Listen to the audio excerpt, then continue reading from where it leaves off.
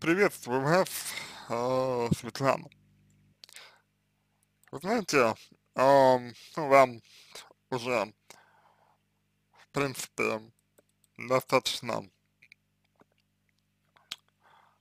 подробно ответили коллеги. И Кудряшов Игорь Леонидович и Александр Плескул, их ответы, на мой взгляд, очень хорошо ам, показывают вашу проблематику и, соответственно, что делать э, с, ну, с этим, да. Вот, осталось только понять э, то, э, ну, хочется ли вам, э, хочется ли вам это делать. Вот, э, хочется ли вам этим заниматься. Вот. Это, это первый такой важный, важный момент. Второе. А, вот когда я читал ваш а, текст, ваш вопрос, меня не покидало, не покидало ощущение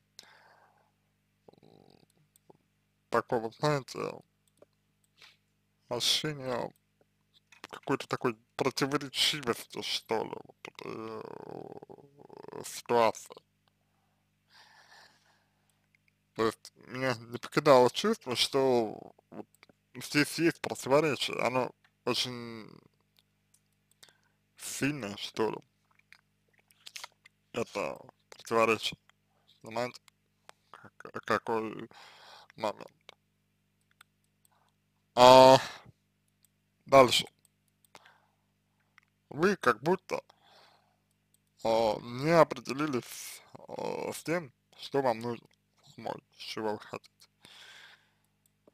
А вы как будто сомневаетесь в своей э, собственной ценности, вы как будто сомневаетесь в, в себе в своем достоинстве, понимаете? И как будто бы такое ощущение возникает, по крайней мере у меня,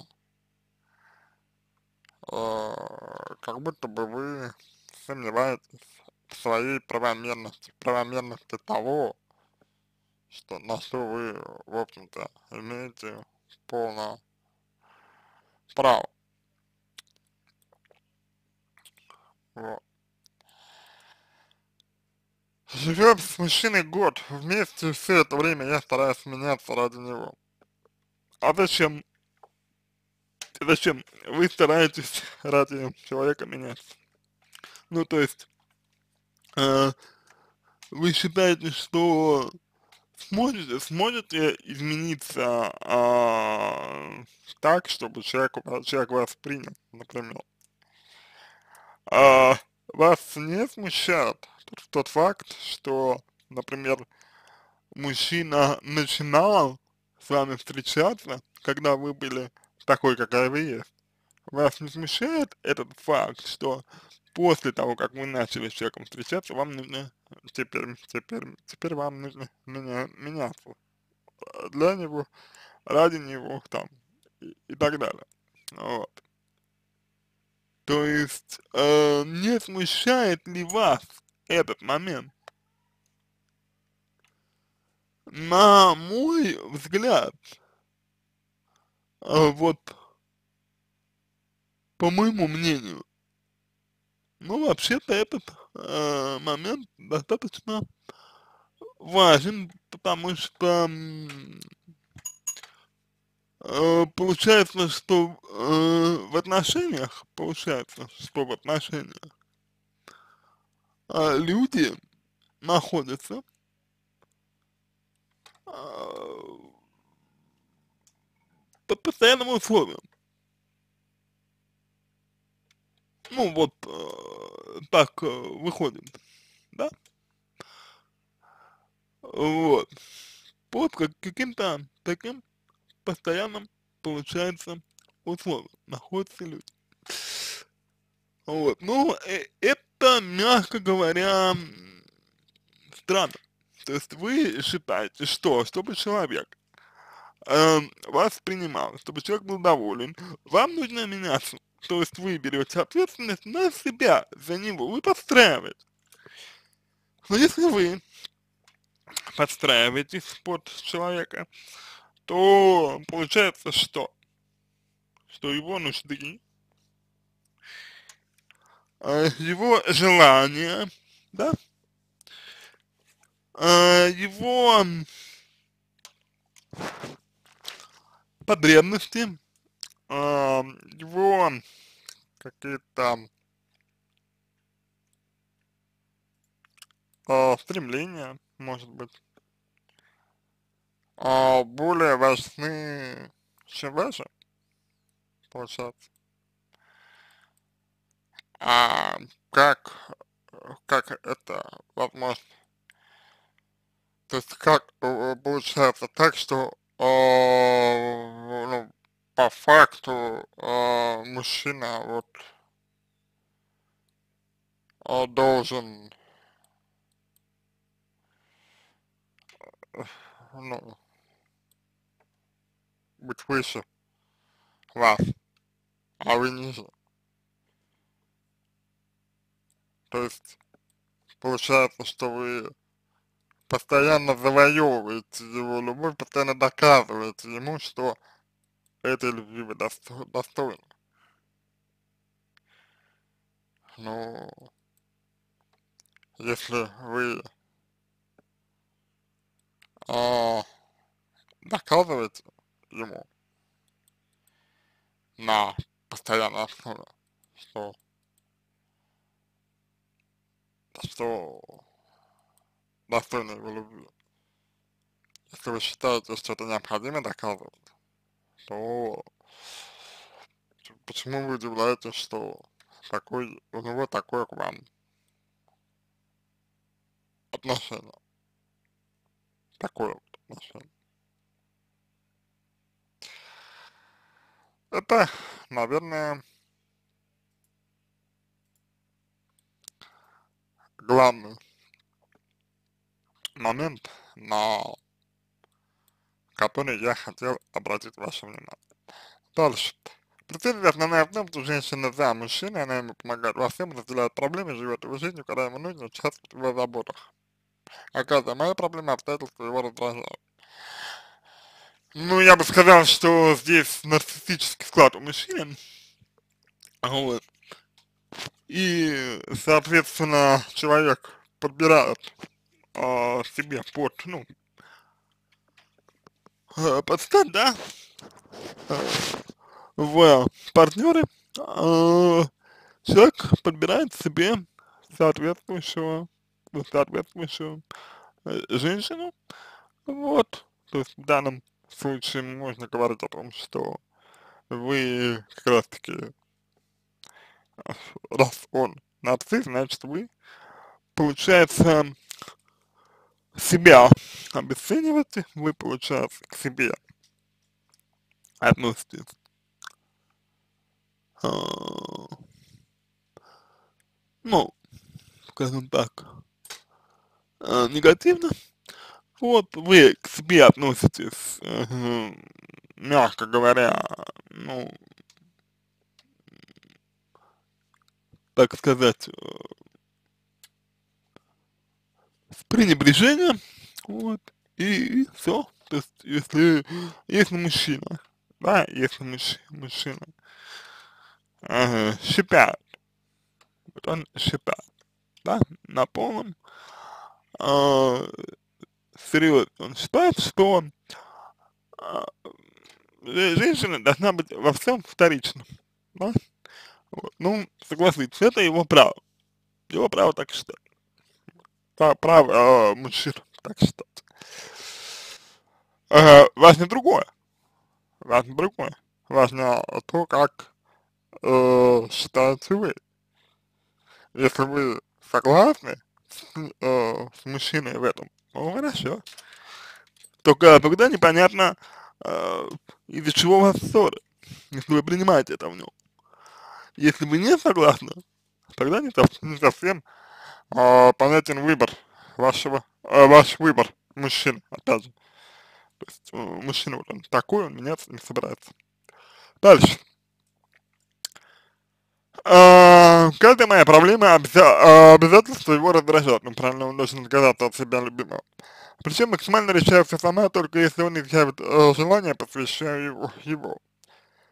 Э, честно говоря, я затрудняюсь немножечко это интерпретировать. Это э, как то, чем можно похвастаться, предъявляете, вот это говорите, или вы это говорите как то, о чем, э, чему можно посочувствовать, то, то есть вот, ну, как, э, э как интерпретировать, да, то, что вы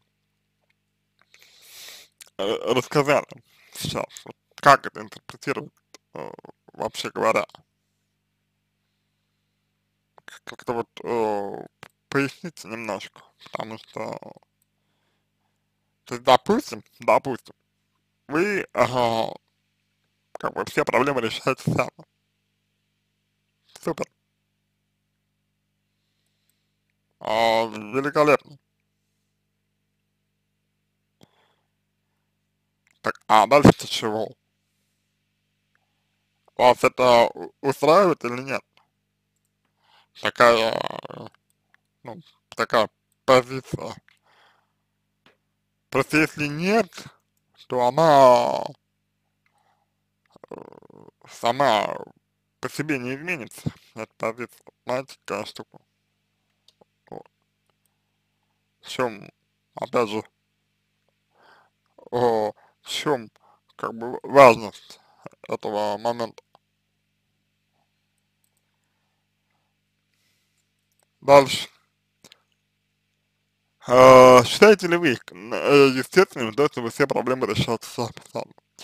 Его сам факт их наличия раздражает, но он находится в своем праве. Он всегда делает, делает на этом акцент, никогда не помнит моего хорошего отношения, работы, ухаживания, быту, жертв. А, скажите, а какой человек может принять, а, может принять жертву? А, ну вот, свой адрес. Вот какой человек может э, принять.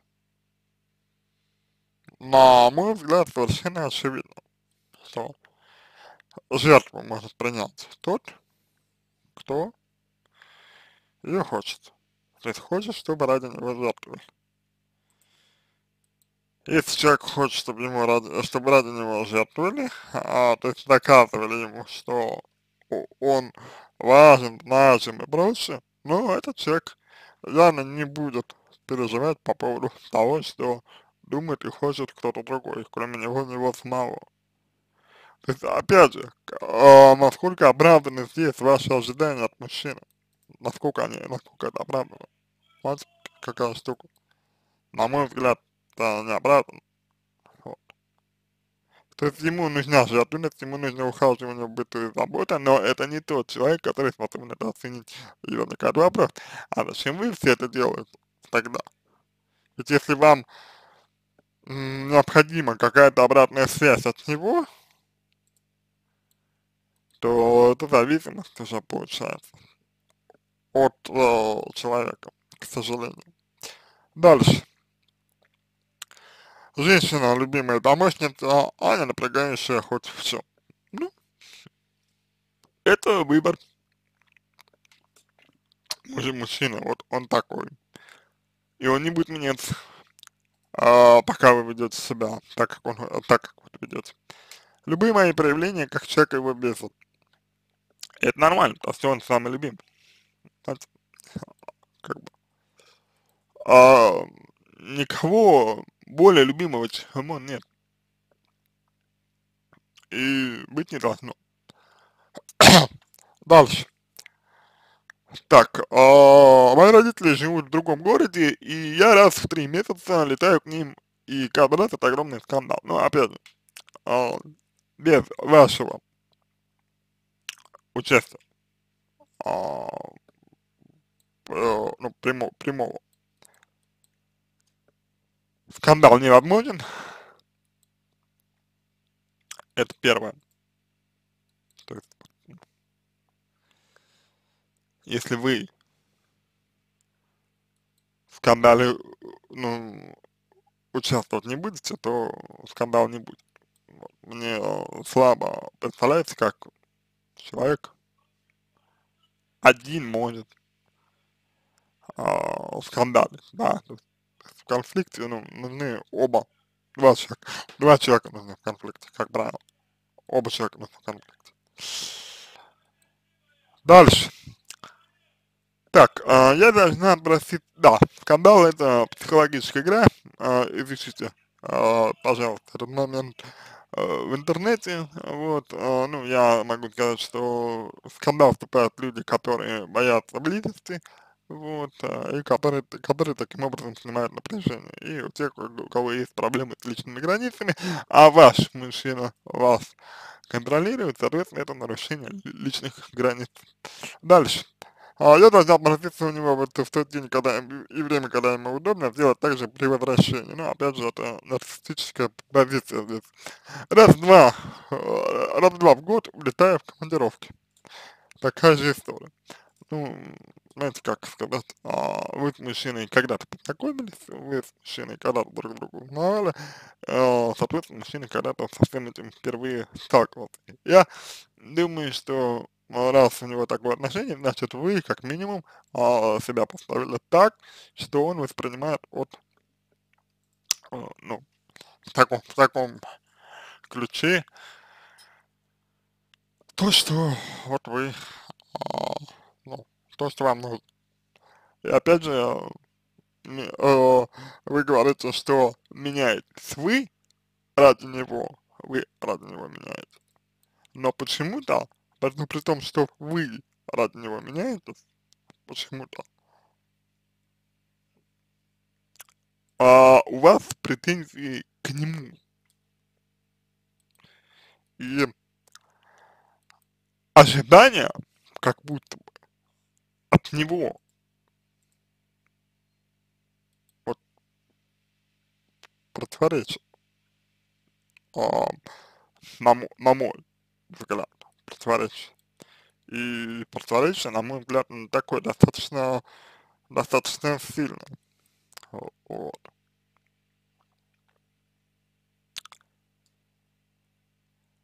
Дальше. Так, эм, на расстоянии он начинает обвинять меня, что я делаю из него женщину, мужчина не может терпеть такое отношение, кого-то ждать.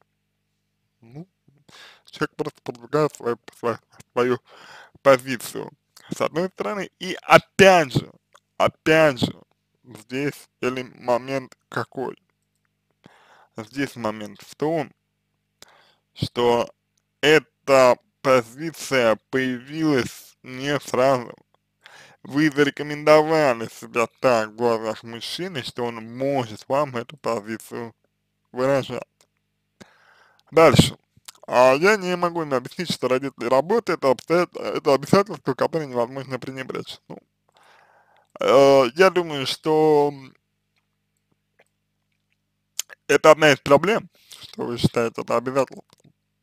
И делаете это не потому, что, к примеру, вам хочется это делать, а потому что это обязательство. Вообще говоря, так это не работает. То есть, если бы вы изначально позиционировали, э, ну, позиционировали э, себя так, что, э, ну, что я хочу этого,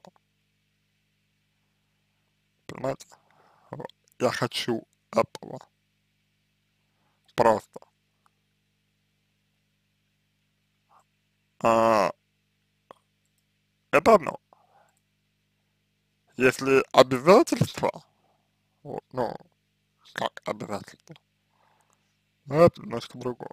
Вполне вероятно, что мужчина вот к вам и относится так, потому что вы в этом обязательство видите, знаете, не, а, свое, не свое желание, а обязательство.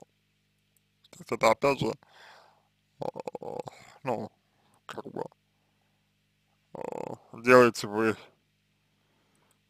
ну, в какой-то степени это через силу, вот,